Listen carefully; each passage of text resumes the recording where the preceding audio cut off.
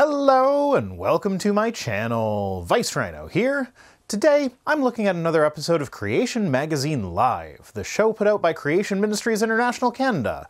In this one, they explain why the complexity of DNA indicates that it was designed. Just never mind the fact that complexity is actually indicative of bad design, something that is well designed will only be as complex as is absolutely necessary to complete its task. Adding extra complexity makes the design worse. So, to use the analogy they're inevitably going to use themselves, if I write a simple hello world code in Python, for the goal of displaying the specific message hello world, the best way to accomplish that, with the least amount of complexity is to simply use the print command with one line of code that says to print that exact text. Now, the same thing could be accomplished with a variable and a loop where the text hello world is stored in a variable and then printed out character by character.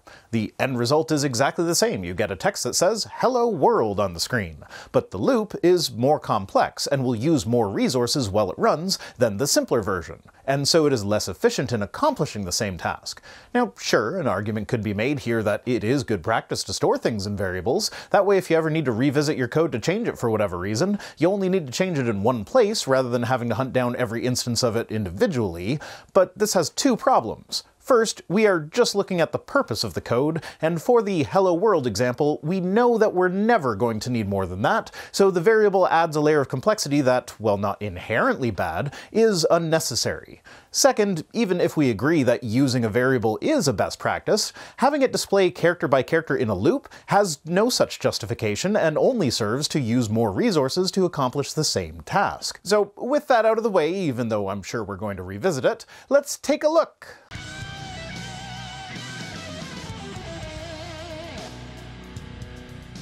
Welcome to Creation Magazine Live. I'm Richard Fangrad. And I'm Thomas Bailey. Um, it's been a while since I've watched any of these. When did Richard start cosplaying as Jim Carrey with his old man beard? DNA, by the way, is an instruction code for how to build and operate a living thing. All living things have DNA.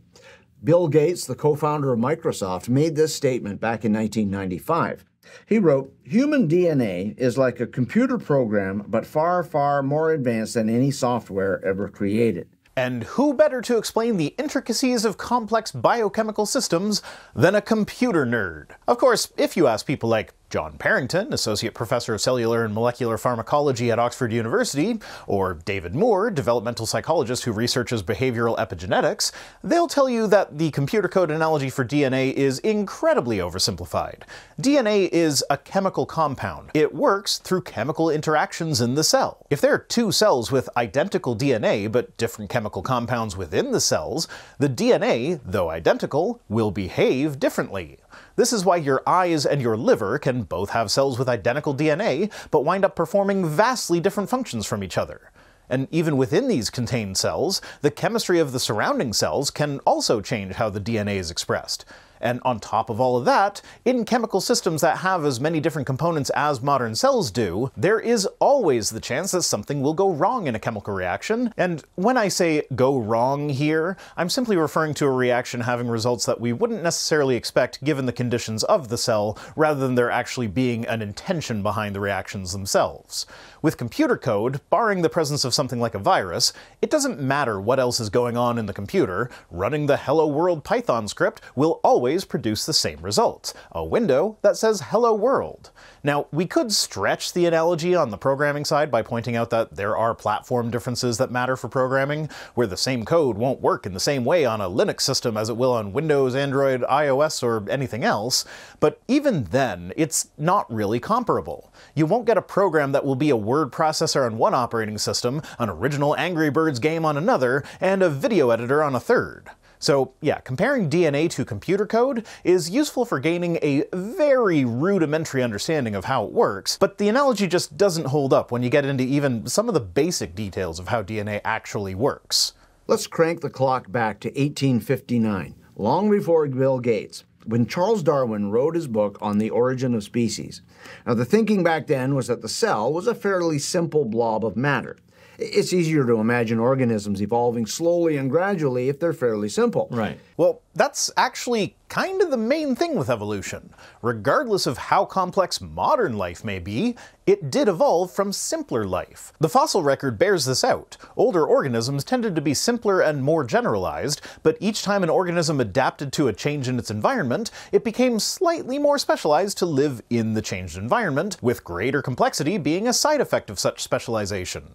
And then there's also the fact that life appears to be a byproduct of the second law of thermodynamics. The second law of thermodynamics is the one that says that in a closed system, the total entropy of that system will increase over time. Entropy being a measurement of how much energy is available in the system that is capable of doing work, in the physics sense. The more energy that's available, the lower the entropy, and vice versa. So as time goes on, there will be less energy available for work in the system. The way this plays out in reality is that systems will spontaneously form which increase entropy faster than if those those systems were not there.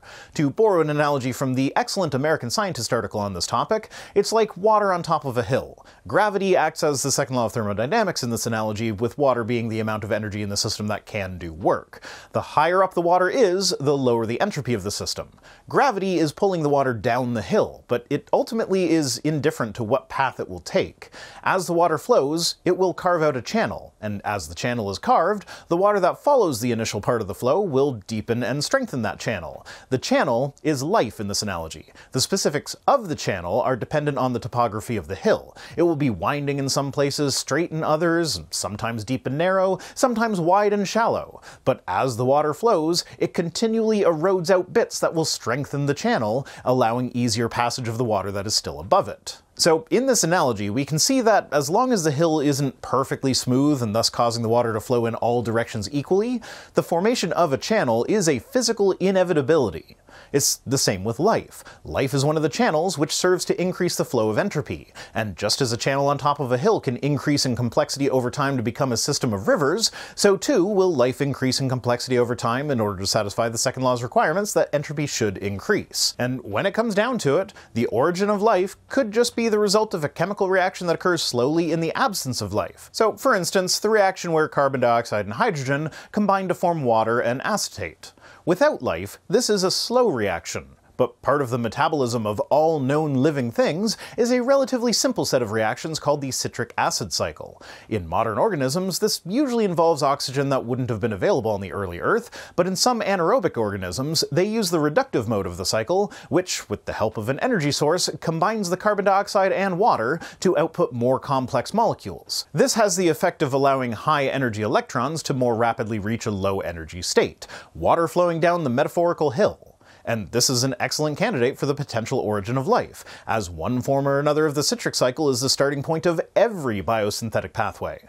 All life shares this basic metabolic reaction, and it is a very simple reaction that could very plausibly begin spontaneously on the prebiotic but very chemically active Earth. And as this cycle is, at its core, simply electrons seeking lower energy states, and this cycle is essentially the basis for all metabolic processes, then, as the discoverer of the citric acid cycle, Albert Szent-Györgyi once observed, life is nothing but an electron looking for a place to rest. Seriously, the article that I got most of this from is amazing. If you are at all interested in the chemical origins of life, go and give it a read. It's called The Origin of Life A Case is Made for the Descent of Electrons. Link is in the description.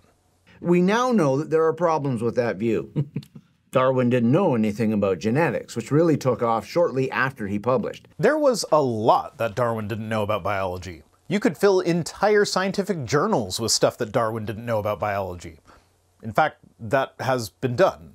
And despite this, nearly 100% of scientists agree that evolution is real. Whether or not Darwin was aware of something is completely irrelevant to our modern understanding of biology.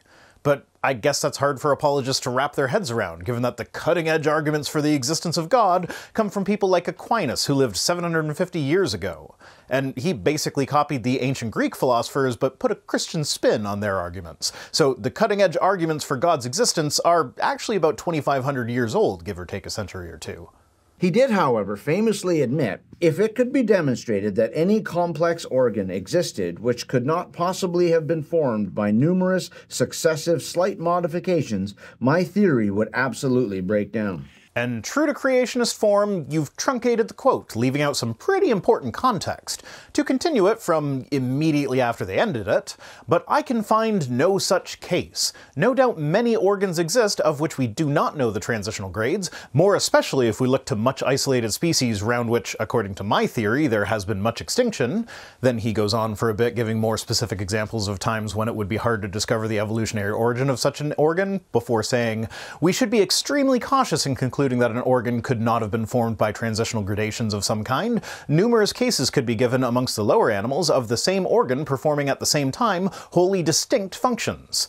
And then he goes on to give numerous examples of times when this is the case, pointing out that should selection ever push that organ in the direction of one function over the other, it could have the appearance of not having been formed by slight modifications without that actually being the case. Darwin wrote in a way that was very conciliatory towards people who might disagree with evolution, while still explaining why he thought that they were wrong. So he would start by pointing out a perceived flaw in evolution, along with some statements meant to show that such a perception is perfectly reasonable. Then he would follow that up with a very thorough explanation as to why that perception is wrong. And in most cases, his follow up has withstood the test of time. An organ having a different function in the past is still the correct answer to Michael Behe's irreducible complexity argument. For example, biochemist Michael Behe coined the term irreducible complexity. Well, speak of the devil. Now, that refers to a system of interacting parts in which every part has to be in place before it can function. Now, this means that a system couldn't come into being gradually bit by bit. And there are many examples of this kind of evolution refuting design in molecular biology. There just aren't any that don't require you to ignore most of the literature on their evolutionary development in order to get you there. Here's an example. Life depends on an incredible enzyme called ATP synthase. That's the name of the world's tiniest rotary motor, rotating at up to 7,000 RPM.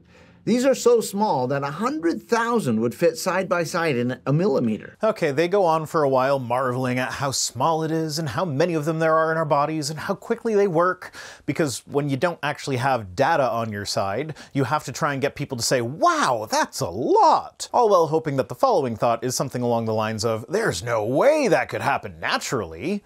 But the whole thing is irrelevant. Being able to make a lot of a thing does not mean that the initial evolution of that thing was impossible. In fact, if you saw that animation and thought to yourself, hang on, that looks a lot like the flagellar motor that Behe was flagellated with in court, where he claimed that there was no evolutionary explanation, despite the fact that there are several plausible evolutionary pathways, then congratulations! You've noticed that they're pivoting away from that very well-known example to another very similar structure that serves a different purpose, and both of which seem to have evolved from similar precursor molecules. And since there is a 2007 paper that explains the potential evolutionary origin from simpler molecular machines that serve slightly different functions, well, also explaining how this evolutionary pathway could have led to flagellar motors as well, and that there are plenty of other papers on this exact subject that either propose alternate evolutionary pathways or build on previously proposed pathways, I'm gonna go ahead and call bullshit on the idea that ATP synthase is irreducibly complex. But that aside, the main issue that I have with irreducible complexity is that it's a mislabel. Creationists will often use the analogy of a mousetrap to explain it. A mousetrap with five parts cannot be reduced any further without losing its function, which isn't quite true. There's a whole page on the University of Delaware website showing hypothetical mousetraps made out of the same parts as a typical mousetrap, but without what would be thought of as key pieces of the trap. And there's also the tie clip example that Dr. Miller used when he testified in the Kitzmiller versus Dover trial. He used a mousetrap that was missing a few parts as a tie clip, showing that while it wouldn't make a very good mousetrap in that form, it could still serve a different function. And that's analogous to how evolution works. It will take something that serves one function and slightly modify it before repurposing it for a different function. That is what appears to be the case for both the flagellar motor and ATP synthase. They appear to be modified versions of a type 3 secretion system. Anyway, back to my main issue, which I seem to have lost track of here.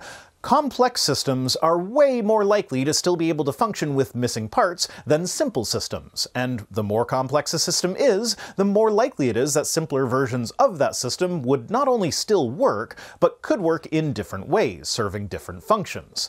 The mousetrap is a simple system, not a complex one. ATP synthase is a complex system. It is made up of two distinct protein entities. One of those entities is made up of nine subunits. The other is made up of six subunits, with additional subunits that aren't necessarily a part of either protein entity still being associated with the molecule. We also recognize components of ATP synthase in other molecules that perform different functions, like the aforementioned type 3 secretion system, which is also closely related to the flagellar motor.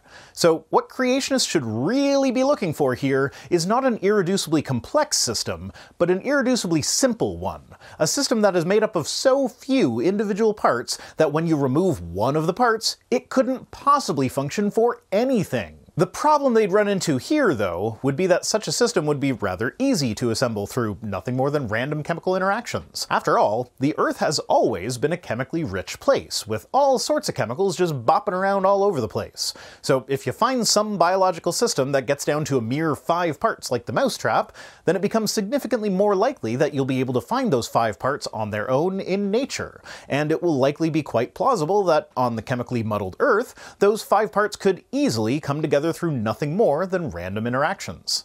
ATP is vital for life, and many of these motors were needed before the first living cell could exist. You mean it's vital for modern life? This is a thing that creationists do all the time. They'll look at a modern cell, see how complicated it is, and then declare that there is no way that such a thing could have formed spontaneously on the prebiotic Earth, and they're right. There is no way that a modern cell with all its various complicated bits could have formed on its own on the prebiotic Earth.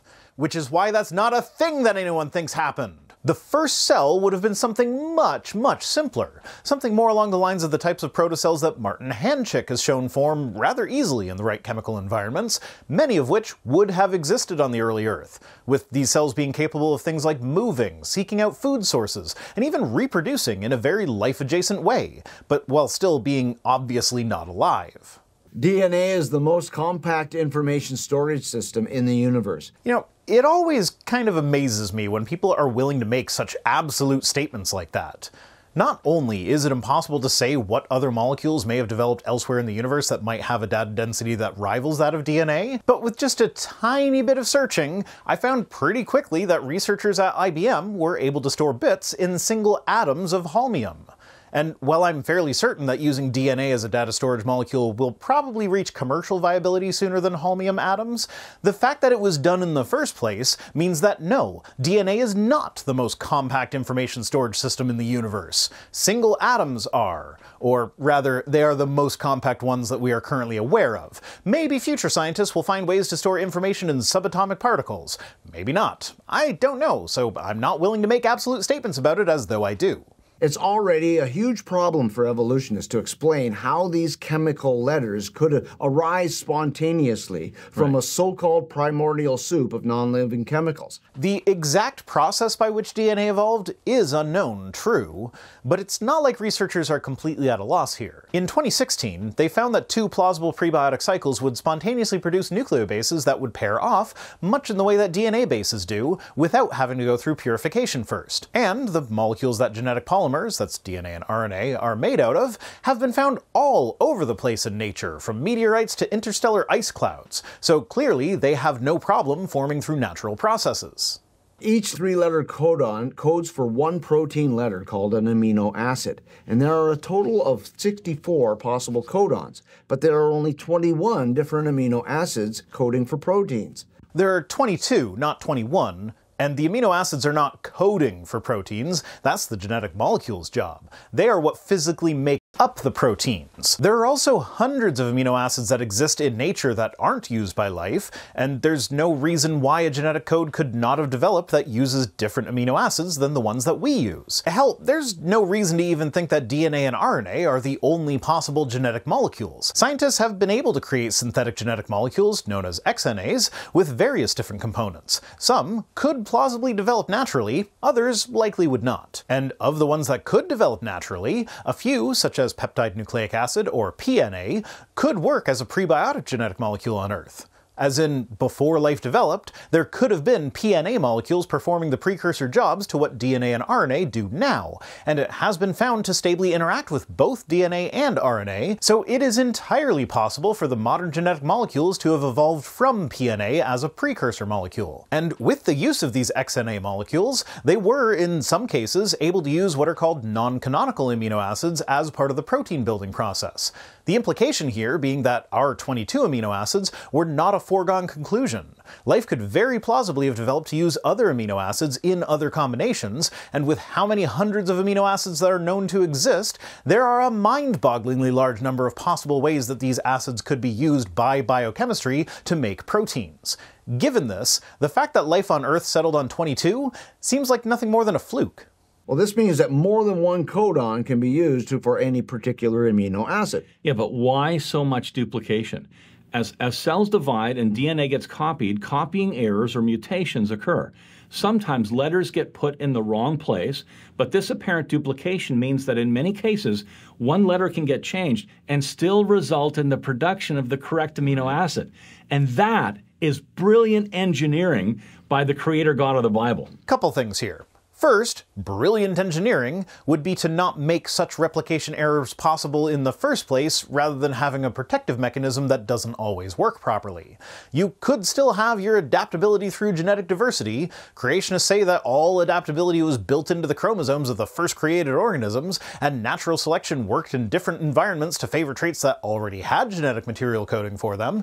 This is demonstrably false, but if we pretend that it's true, then there's no reason for a mutation to happen at all all. So the fact that God designed the genetic code to be partially protected against mutations means that God was unable to design one that would be fully protected, or that he was unable to design DNA in a way that wouldn't produce errors in the first place. But secondly, and more importantly, mathematical modeling has shown that not only are there a myriad of other potential genetic codes that are possible, but that many of these would actually do a better job at protecting against mutations than the one that we ended up with. So even if designing it that way was a feat of brilliant engineering on God's part, it wasn't the best that it could be. You may have heard about the infamous Miller Urey experiment back in 1953, in which electricity was added to certain gases under specialized conditions. This was intended to show how life could spontaneously arise without God. Right. No, that's not it at all. You know, you can, like, read the original publication, right? It's not hard to find. For fuck's sake, just read the damn title A Production of Amino Acids Under Possible Primitive Earth Conditions. The experiment was meant to test the hypothesis that organic compounds that serve as the basis of life were formed when the Earth had an atmosphere of methane, ammonia, water, and hydrogen. That's literally the first sentence of the paper. There is nothing about God in the paper at all, nothing about religious implications, nor did they ever claim to be attempting to create life in the experiment. They were simply looking to show that amino acids could form naturally, and they not only were successful in that endeavor, but plenty of research since then has shown that amino acid formation is relatively simple for nature, as, like nucleobases, amino acids have been found in both interstellar space and in meteorites. But the experiment actually showed that it took a great deal of intelligence to set up conditions that produce mostly a lot of tar and just a few amino acids. Yeah. So, are you going to address the fact that naturally occurring amino acids have been found in interstellar space and meteorites? That's not a new discovery, you should be aware of it by now. Or even just address the fact that organic tar is a very plausible starting point for prebiotic chemistry. So, tar and a few amino acids shows a plausible pathway to the eventual development of life. And yeah, the experiment was designed by people, but it was designed to mimic what were thought at the time to be conditions of the prebiotic Earth. It's not like they just cooked up some amino acids and then said, hey, because we made amino acids, nature can too. They specifically designed the experiment to mimic what would happen in nature without the influence of a designer. This is a long way from a living cell. Yeah, it is. What's wrong with that? They weren't aiming for living cell, they were aiming for amino acids, and they got amino acids. Yeah, here are some of the problems with that experiment. First, there were starting assumptions about what gases would have been present on the primordial Earth, and these didn't include oxygen, which tends to destroy chemical bonds, preventing anything from forming. Now, since then, evidence indicates that oxygen likely was present at the time. Oops. Sure, fine, whatever. But again, I'm left wondering Who fucking cares? Why are we picking on an experiment from the 1950s as though that were the definitive model of how abiogenesis happened? Like, seriously, just read the goddamn Wikipedia page on the Miller-Urey experiment. There's a whole section called Related Experiments and Follow-up Work. Just from reading that section, I can tell you that a 1961 experiment produced nucleobases and amino acids, a 1963 experiment produced RNA and DNA nucleobases, in the late 70s and early 80s, experiments began using UV photolysis and including oxygen as part of the simulated atmosphere, a 1978 experiment yielded various alcohols, aldehydes, and organic acids, Carl Sagan himself even got involved, showing that complex organic solids could be produced from molecules that are abundant in interstellar gas clouds. Miller himself went on to repeat the experiment with a variety of of different simulated atmospheres, showing that it still worked even under different conditions, including ones that contained oxygen. Also worth mentioning is that the amount of oxygen contained in the prebiotic atmosphere is described as vanishingly low amounts. So while this does impact the chemistry a bit, it's by no means a deal breaker. So because it didn't accurately simulate the Earth's atmosphere, it's it's pretty much irrelevant as an experiment, and those amino acids could not have formed. Yeah, I guess they are just going to ignore the fact that amino acids can and do form naturally, as indicated by their presence in interstellar clouds and in meteorites, as well as the more than seven decades of research that is built on the original Miller-Urey experiment. Like, for fuck's sake, I currently have a copy of a magazine from 1952 that has an advertisement on the back explaining that throat specialists recommend smoking camels. Science wasn't exactly at its peak in the 1950s, so why are you pretending like an experiment from the 1950s somehow proved that evolution can't happen because they got the composition of the atmosphere wrong, rather than addressing the follow-up research that shows that the conclusion of the original experiment holds true even if the details of the atmosphere were wrong? Not only that, many molecules required for life exist in two forms that look like mirror images of each other, like your left and right hands. This is called chirality, from the Greek word for hand. The Miller-Urey experiment produced equal amounts of left and right-handed forms of amino acids. Yeah, but all amino acids and proteins are left-handed, while all sugars in DNA and RNA and in metabolic pathways are right-handed. Random chemical reactions won't produce 100% left-handed right. amino acids that are needed for life. Two words, asymmetric autocatalysis. That is a whole category of reactions where a chiral product catalyzes a reaction that involves achiral molecules to produce more of itself in the same chiral configuration. This is just one example of thousands where evolutionists have major problems explaining how life originated. Yeah. And given that you've likely decided to go with your strongest example, then it stands to reason that this is actually just one example of thousands where you are completely ignorant of the scientific literature on the subject, with the other examples somehow managing to be worse than this one. But evolution continues to be promoted as established scientific fact. Because it is. Going back to your first segment on irreducible complexity, do you know what Michael Behe, the guy who coined the term irreducible complexity, says about evolution? Quote, I am not a creationist and have no reason to doubt common descent. In fact, my own views fit quite comfortably with the 40% of scientists that Scott acknowledges think evolution occurred but was guided by God. Scott, in this case, being Eugenie Scott of the National Center for Science Education. When the people you get your anti evolution arguments from say point blank that they are not creationists and that there's no reason to doubt common descent, then can you really say that those arguments actually support your anti evolution position? I'm skipping the next bit because these guys take a really long time to say almost nothing, so I'll summarize it for you. They describe Haldane's dilemma, also known as the wait time problem. Oversimplified, it's basically that a mutation can either be beneficial or deleterious, and in order for evolution to favor the beneficial over the deleterious, the beneficial mutations have to happen at a more frequent rate than they do, and then spread through the population faster than they do. This problem was based on the calculations of J.B.S. Haldane in 1957, and as with the Miller-Urey experiment, you have to ignore several decades of research in order to present this as a significant problem for evolution. Most notably, Motoo Kimura pretty much solved the problem in his neutral theory of mutations in 1968, where, as it turns out, most mutations are mostly neutral, rather than being either beneficial or deleterious. Since only 2% of human DNA codes for proteins, it was assumed that the other 98% was non functional and was eventually labeled junk DNA. Yeah. This appeared to solve the problem since there could be all kinds of neutral mutations in the junk DNA with no significant damage to the organism. Actually, yes. Your percentage is off, but that's essentially what Motoo Kimura's paper pointed out. While a bunch of non coding DNA does serve some function, usually regulatory in nature, there must be a large portion of the genome that is entirely without function. Now, there are several variables that impact the mutation rate in humans, and different parts of the genome have different mutation rates. So, when researchers set out to calculate how much of the genome had to be devoid of function, they provided a wide range of estimates for the average mutation rate, covering two orders of magnitude of the potentially different rates. Then they calculated how many babies the average person would have to have in order to generate enough genetically healthy babies that would be able to grow up and have babies of their own in order to replace themselves. And when looking at actual historical data, this rate tends to hover between 1 and 1.75. So for the purposes of being extremely conservative with their estimates, they decided to settle on 2 as the maximum.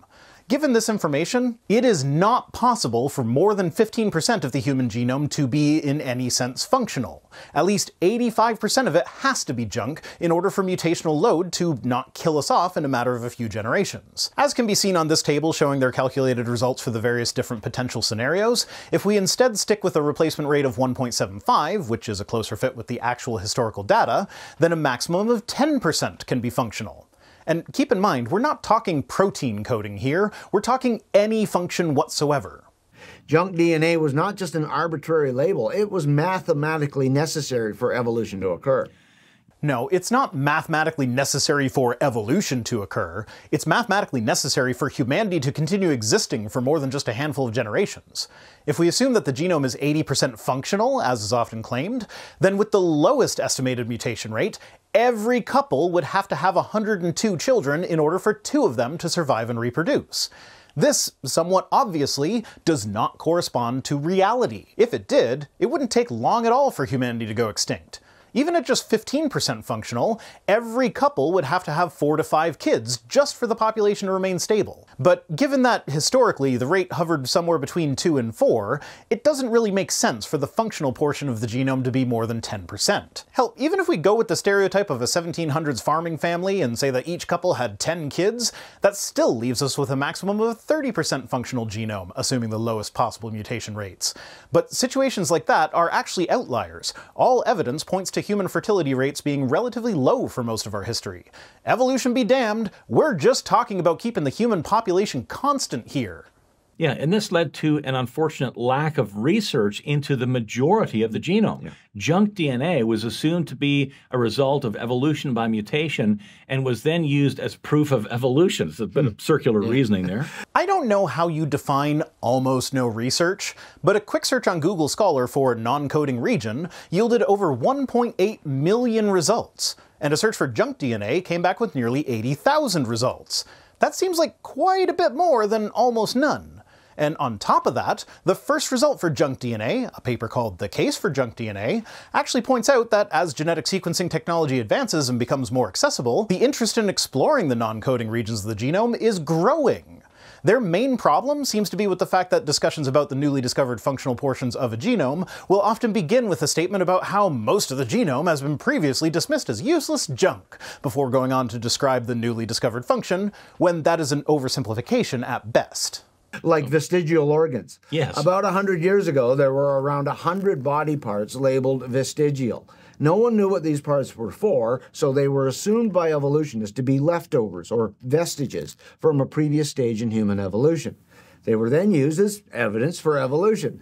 This hindered research into these organs for many years. But guess what? Almost all of those vestigial organs have since been found to have a purpose, as if they were designed. Nice. Shit like this actually makes me really angry. There is no way these guys haven't been told a million times by now that vestigial does not mean without function. Evolution works largely through repurposing already existing material. So, take my appendix, for example. Please, take it, it's inflamed, I don't need it anymore. We know that it's a vestigial remnant of our herbivorous ancestors' digestive systems that help with the digestion of tough plant matter. It no longer does that, but it does currently harbor a sampling of your gut bacteria and can keep them safe even if you get an illness like dysentery, which can clear out most of your gut bacteria in fairly short order. So it acts as a sort of safe haven for them, so that once you get better, they can repopulate your gut. The fact that we found this purpose does not negate the fact that it is an evolutionary remnant of our herbivorous past. And you guys repeating the false claim that any purpose means it isn't vestigial only serves to set your audience up for a rude awakening when they learn that you are wrong. Though, to be fair, I'm not sure why this one bothers me more than any of the other wrong things they've said so far. Maybe it's because it's actually difficult to understand things like the evolutionary history of ATP synthase, but the basics of vestigial organs are pretty simple. Or maybe it's because they just essentially made the exact same argument as that guy that I responded to ages ago, who clearly didn't have a fucking clue what he was talking about, but he was very smug in his ignorance. When a scientist who is an evolutionist or an atheist, comes across an organ in a creature that they don't immediately know what the function of it is, instead of just spending more time and effort researching the organ to see if there actually is a function that, to it or not, they get lazy and sloppy in their work and they arbitrarily declare the organ to be leftover junk from the evolutionary process. And they put it on that shelf over there. Sure, they said it with more charisma than he did, but the substance of the argument was exactly the same. That guy is what happens to the lay people who get their scientific information from creationist sources. They end up believing what are fairly obvious lies about science and how science operates, which then makes them look really bad for having trusted you. And I think that's really what gets me. If I had just been a little bit less curious about science than I am, I could have gone down that path and ended up sounding like I didn't have a clue what I was talking about. Because I believed the misconceptions that creationists actively encourage their flock to believe, even if they themselves wouldn't say it in exactly the same way. You say, the labeling of organs as vestigial sets research back decades as scientists failed to examine the function of those organs. The laypeople here, scientists are lazy and rather than put effort into figuring stuff out, they throw the label vestigial on it and then put it on that shelf, never to be looked at again. File it away and never deal with it again.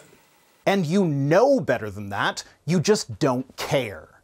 Fearfully and wonderfully made. I love it when science catches up with the Bible. Yeah. It's the same with junk DNA. Evolutionist assumptions hindered research.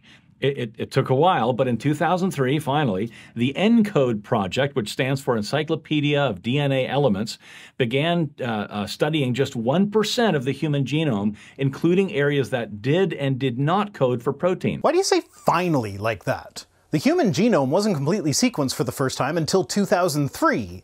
And 2003 is when the ENCODE project began trying to figure out what all the various functions for the genes were.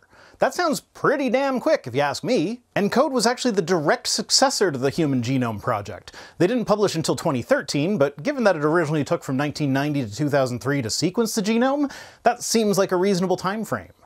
Also, with regards to scientists not wanting to look into junk DNA, thus causing our understanding of the genome to stagnate, to quote the authors of a 2014 paper that points out some of the key problems with the ENCODE project, it is simply not true that non-coding DNA has long been dismissed as worthless junk and that functional hypotheses have only recently been proposed, despite the frequency with which this cliche is repeated in media reports and in the introductions of far too many scientific studies and they come with references going back as far as the 1950s of papers trying to figure out the function of non coding regions of the genome. They found that 80% of so called junk DNA has a function. Wow. Who knew? Not quite. They claimed that 80% of human DNA sequences exhibit a biochemical function. The differences here are subtle, but it does matter. Well, at least, to those of us who aren't actively trying to perpetuate misinformation, it matters. This also caused quite a bit of a kerfuffle in the biologist community when it came out, because, as it turned out, ENCODE's definition of what counted as functional was so loose that, again to quote the 2014 paper, such permissive criteria will identify a great many genetic elements regardless of whether they have been under selective pressure or contribute to any meaningful organism level capacities. And then, from the conclusion of that paper, ENCODE misapplied this definition of function by using criteria that were far too broad. And that's the paper that was being nice. To quote the mean one, according to the ENCODE consortium, a biological function can be maintained indefinitely without selection, which implies that at least 70% of the genome is perfectly invulnerable to deleterious mutations, either because no mutations can ever occur in these functional regions, or because no mutation in these regions can ever be deleterious. This absurd conclusion was reached through various means, chiefly by employing the seldom used causal role definition of biological function and then applying it inconsistently to different biochemical properties, by committing a logical fallacy known as affirming the consequent by failing to appreciate the crucial difference between junk DNA and garbage DNA, by using analytical methods that yield biased errors and inflate estimates of functionality, by favoring statistical sensitivity over specificity, and by emphasizing statistical significance rather than the magnitude of the effect. So, no, despite ENCODE's claim to the contrary, 80% of the human genome is not functional in any meaningful sense. Human DNA codes in not just one, not two, not three, but four dimensions. I mean, unless you mean something other than the fact that it's a three dimensional molecule that exists in time, that's kind of a well duh statement. A few years ago, researchers compared the relatively simple E. coli genome with the Linux operating system.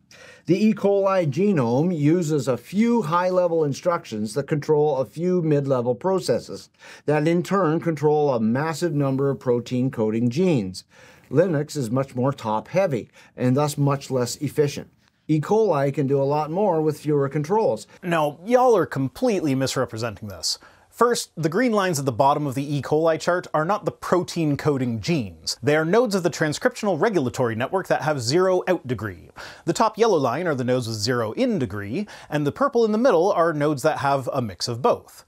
Protein coding genes are located in all three levels. In degree is how many regulators call that node, and out degree is how many target genes or functions are called by that node. So for a genome, if a gene is activated by another gene, that counts for its in degree score, and a gene that does the activating of another gene gets a point for its out degree score. And for the operating system, a function is a self-contained bit of code that performs a specific task. When another bit of code activates that function, that counts for its in degree, and the code that does the activating gets a point for its out degree. Now, I confess that I'm at a bit of a loss in figuring out an easy to understand biological example, but for programming, I have a script running that when I click my mouse wheel, it'll open a menu listing folders that I frequently access. When I click one, it'll check to see if that folder is already open, and if it is, it'll bring it into focus. If it's not, it opens it Checking to see if a particular folder is already open is a job that I need the script to do repeatedly every time I select one of the menu items. So rather than have the same code with minor variations copied over and over again throughout the code that defines the menu,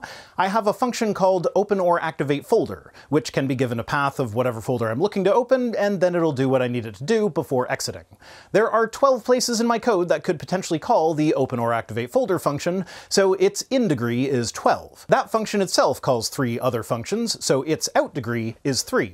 Since it is both called by other pieces of code and itself calls other pieces of code, it would be in the middle purple section of the chart. So those of you who are at least somewhat familiar with programming will now perfectly understand why the purple is the biggest line in the graph. Most functions call other functions and are themselves called by other functions. But you may also be wondering about the fact that they're talking about the Linux call graph as though it shows less evidence of design than the E. coli transcriptional regulatory network. But the nodes that they've dubbed the workhorses in the paper are the ones that are called by other nodes, but do not do any calling themselves. And from an operating system standpoint, that will be the highest level functions that are used to control basically everything else. But the CMI guys have it labeled as though the yellow nodes that are doing all the calling are the high level functions, while the green nodes are the outputs.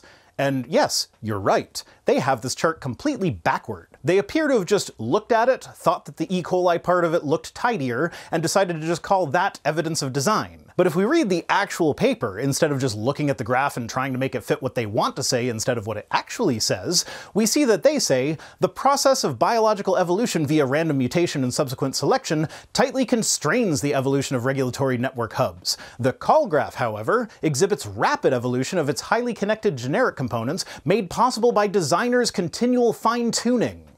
Despite the E. coli chart appearing to be tidier, the tight constraints that give it the tidy appearance are a direct result of evolution, while the top-heavy appearance of the Linux call graph is a result of it being intelligently designed for cost effectiveness. I am now skipping a rather large chunk of this section. Their DNA operates in four dimensions thing is basically just here's four things that can impact how genes are transcribed and translated, along with a bunch of wow, isn't that complicated interjections. It's quite dull, and if you're interested in things things like how a gene's physical position in the chromosome can impact its expression, or how the transcription of a protein doesn't happen in a linear fashion, but with bits and pieces of the DNA spliced together using introns and exons, or anything else about DNA, there are way better places to learn at them from these jokers. Wow, we covered quite a bit today. But Yes, uh, we certainly did. anyways, we'll see you next week. Whoopsie daisies! I just accidentally skipped 10 minutes of their video and ended up at the very end. Oh well! You didn't miss much. It was literally just 10 minutes of them going, Wow, that is so complex! No way that could be the result of random chance! while explaining various scientific findings. And given how poorly they interpreted other papers, I'm incredibly doubtful that their explanations were even close to accurate. That's it for this one. Today's comment of the day comes to us from my 1952 edition of Look magazine. Okay, I'm not actually responding to a comment in this magazine, but I bought this when I was scripting a response to Deflate a couple of weeks ago.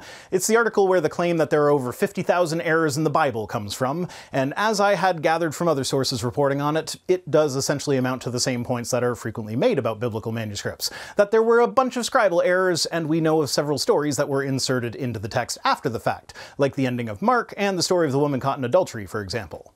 But it might not have been a complete waste of money. I'm going to see about scanning it, and there's a couple articles that I might want to cover depending on how interesting they are. There's one called We're Losing the Battle Against Sin, and another called Are US Teenagers Rejecting Freedom? This might be the kind of stuff I'd rather cover on the watering hole, but from the headlines, it seems like the culture war fear mongering hasn't really changed all that much over the years. Though, I also might decide to just read through some of the letters to the editor because this issue seems to have followed an issue that ran an article that was critical of the Jim Crow laws. And from reading the letters to the editor, everyone back then, except for Meredy Ann Johnson from Reno, was a racist motherfucker. Good on you, Meredy. I also completely forgot about the existence of that um, unfortunately named weight loss product, so I was rather taken aback when I turned the page and saw Ayds helps me lose weight and feel better too. And really, my favorite part of all this is that I now have an official business receipt that I will use to deduct the cost of this magazine on my taxes, which describe it as Look Magazine, February 26, 1952, cute young woman in curious red and white striped exercise leotard, good condition.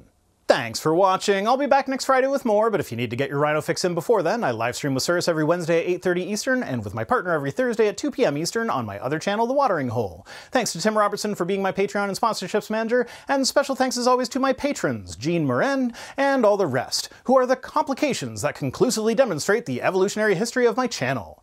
If you'd like these two to look at you and say, wow, must have been God, then you can join us on Patreon for as little as a dollar per week over at patreon.com slash vicedrhino, or by supporting the channel in one of the other methods that can be found at links.vicedrhino.com. If for whatever reason you want to send me stuff, my P.O. Box address is in the description. See you next time!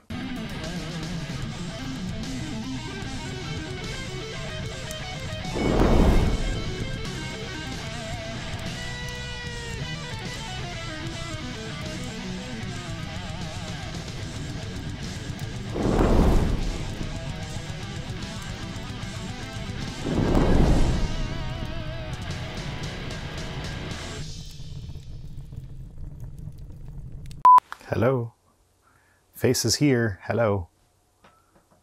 There we go. Intro. This is going to be one of those videos. Why are you focusing on not me? I am the star. Let's take a look.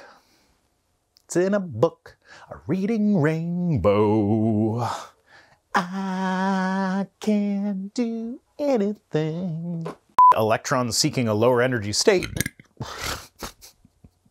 just snuck out of there. Then congratulations, you've noticed it. You've noticed it. Form rather easily in the right comical, comical, comical environments. I'm here to buy some conicals. I would like comicals, please. We know that it's a vestigial remnant of our herbivore. Are herbivorous, are herbivorous, are herbivorous, are herbivorous, are herbivorous, are herbivorous, are herbivorous, are herbivorous, are herbivorous flossing with the R herbivorous, R herbivorous, R herbivorous, herbivorous, R herbivorous. God damn, and now you decide fucking tablet. I need a new goddamn tablet.